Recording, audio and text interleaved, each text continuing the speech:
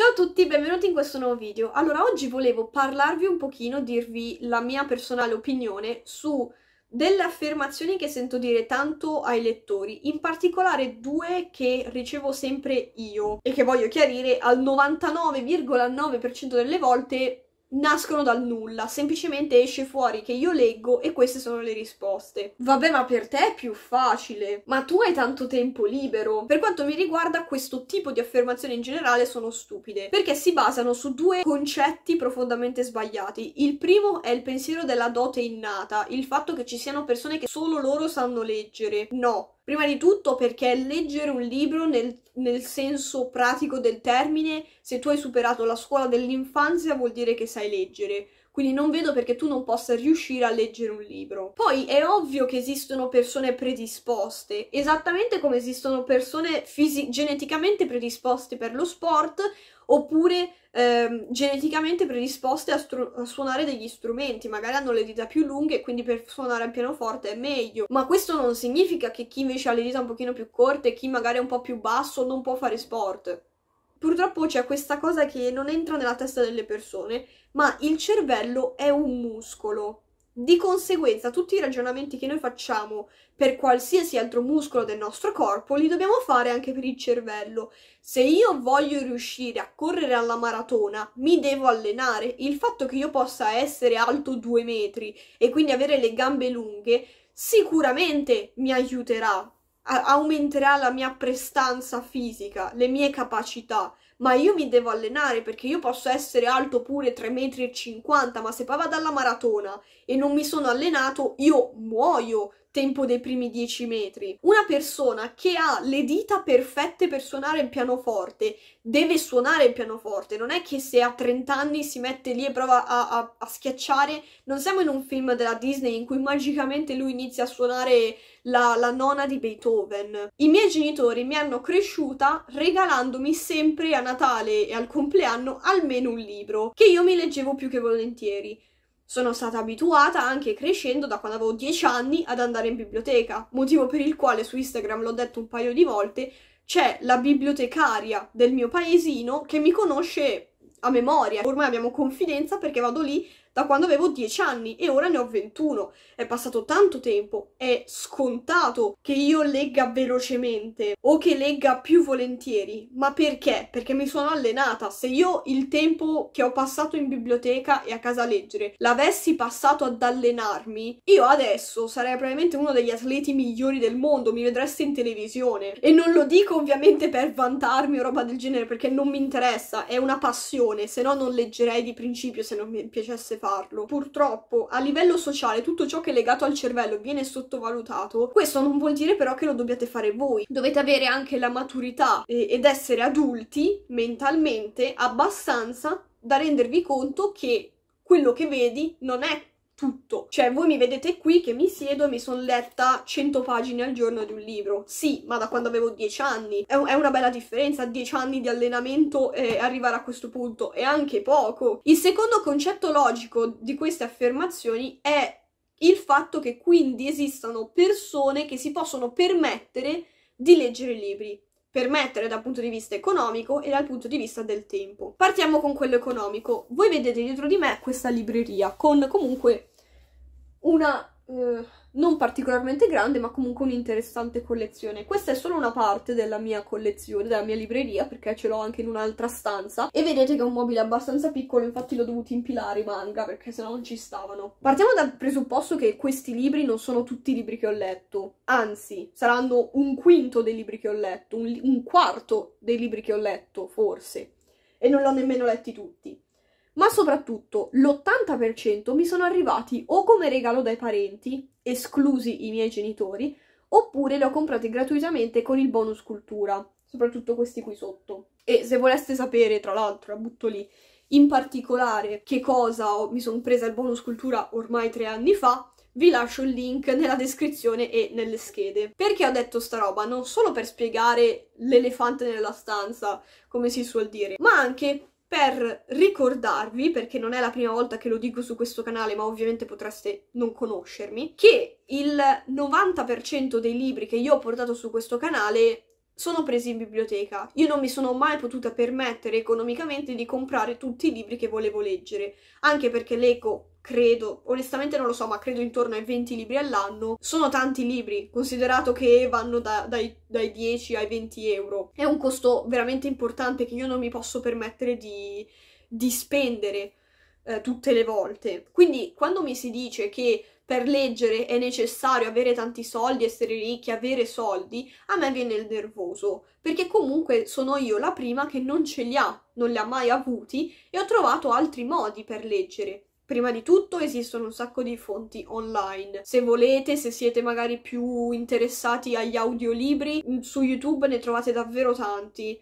In futuro poi parlerò degli audiolibri, probabilmente però. Comunque, ne trovate davvero tantissimi, anche dello stesso libro tante versioni, quindi potete anche scegliervi voi la versione che vi piace di più. Ci sono i libri usati, tra l'altro c'è un sito in particolare che io utilizzo che si chiama Compro Vendo Libri, che vi lascio anche nella descrizione il mio link al mio profilo, nel caso in cui voleste vedere perché sto vendendo un paio di libri al momento. Oltre a quello poi ci sono cose come Vinted, Facebook, eccetera, in cui potete comprare libri usati a costi davvero irrisori, soprattutto se magari puntate di più a Facebook oppure subito.it nel quale riuscite magari a trovare qualcuno che vi fa la consegna a mano. In parecchie città ci sono eventi di scambio libri in cui voi vi presentate, appunto pre- date il vostro libro e ne prendete un altro, ci sono i, i mercatini dell'usato. Invece dal punto di vista gratuito comunque abbiamo i PDF online, soprattutto se il copyright è scaduto, ma anche PDF per libri col copyright ovviamente non dovreste mai ovvia- eh, scaricarli perché è illegale, però mi raccomando, cioè è illegale se voi non avete la copia fisica, eh. Se avete la copia fisica invece potete legalmente scaricare questo tipo di file. Poi ci sono le biblioteche. Se siete più fortunati, come nel mio caso, trovate un sistema di biblioteca, un'associazione vera e propria nella quale è totalmente gratuita, non serve la tessera perché si utilizza quella sanitaria. In altri casi, soprattutto se magari sono più piccole o private, trovate biblioteche che magari vogliono 5-10 euro tantum per il tesseramento, quindi lo paghi una volta sola. Ma per quanto mi riguarda, 10 euro, che è un libro, per poterne leggere quanti mi pare a me, mi sembra un'ottima occasione. Ed è vero, come ho già detto, che mi fa innervosire questo discorso economico.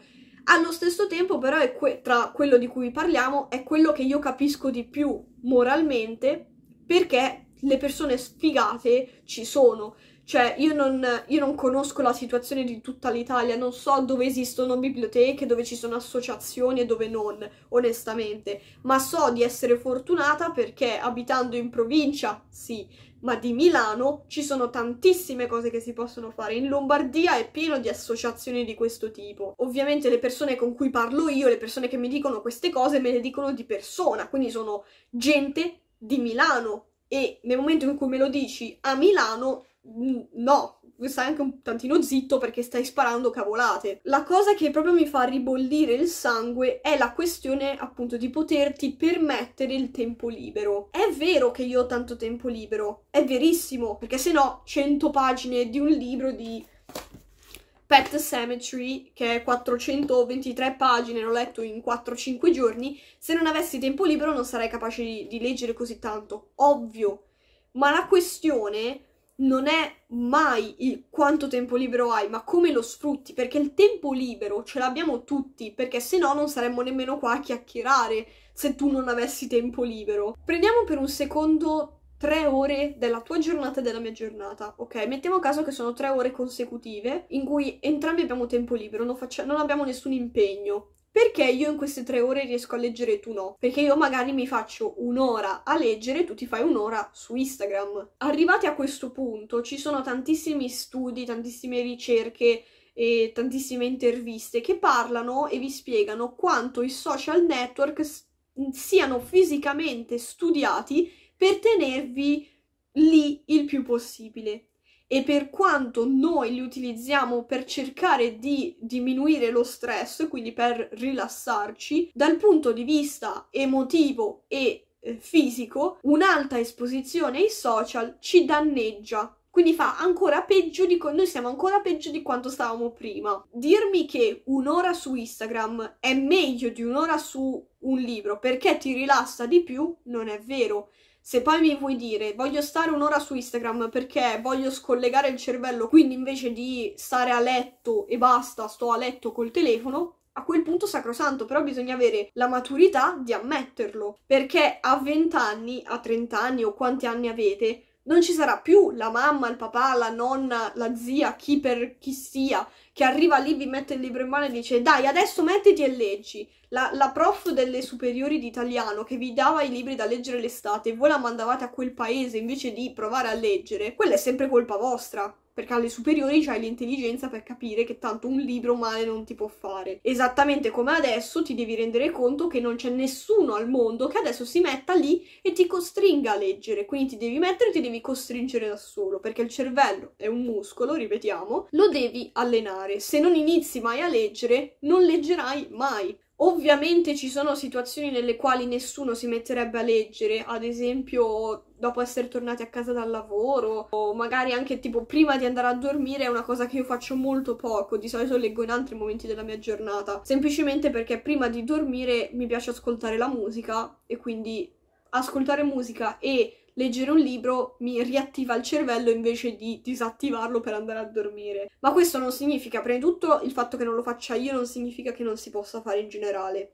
Ma secondo, non sono gli unici momenti della giornata che si hanno. La mattina, prima di andare a lavoro, magari perso- uno dorme 10 ore, beh, volendo, tu potresti dormirne 9 svegliarti un'ora prima e allenarti, fare colazione con calma, guardarti una serie su Netflix, leggere un libro. Nessuno te lo vieta e fisicamente lo potresti fare. Oppure, ancora meglio, il consiglio più grande che do io è abituatevi a leggere sui mezzi se siete pendolari. Portatevi un libro, ascoltatevi un audiolibro. Sono validi, sono validissimi gli audiolibro. Leggere un libro semplicemente per leggerlo, senza andare troppo in profondità, lo potete fare, anzi è quello che farete eh, volontariamente o non, quando inizierete ad allenarvi a leggere. I primi libri che leggerete finirà che ve li dovrete rileggere più avanti nella vostra vita perché non ci avrete capito una mazza, o meglio, avrete capito la trama, ma poi non sai effettivamente criticare, non sai dire cosa ti piace e che cosa non. Ma va bene, non è una sfida, non ci stiamo sfidando, no, non siamo al Guinness World Record e non siamo nemmeno a scuola dove ti devono interrogare dopo, quindi devi studiare il libro per bene.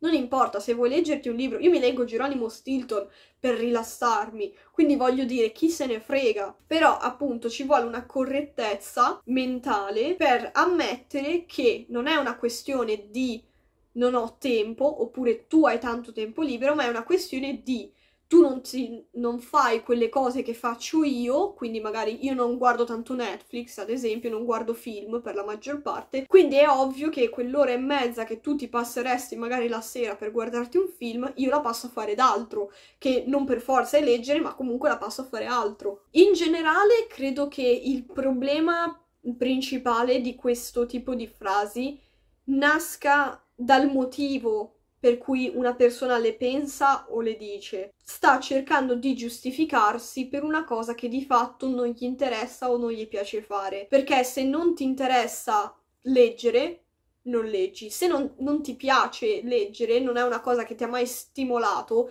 è ovvio che troverai mille motivazioni per cui non leggere. È ovvio che se a me non piace l'idea di mettermi a leggere un libro, preferisco Instagram. Purtroppo nella società ci sono determinati hobby che vengono considerati migliori di altri. Quindi quando una persona ti dice che legge tanto, socialmente viene messa un gradino più in alto, purtroppo. Che è una cavolata, perché dovrei essere così speciale perché ho un hobby gli hobby non li decidiamo, ok? Cioè sono cose a cui, eh, che ci piacciono. Tutti abbiamo degli hobby e delle cose che invece non ci interessano. E va bene così. Nel momento in cui però si parla di letteratura, esattamente come altri ambiti, come appunto può essere l'arte, eccetera, la gente si sente quasi giudicata e criticata a prescindere. E quindi si sente di doversi giustificare, di dover dare motivazioni e allo stesso tempo alcuni pensano che sminuire quello che è l'hobby di quella persona li renda meno scemi, ma in realtà è tutta un'idea che hanno loro in testa. Se tu ti senti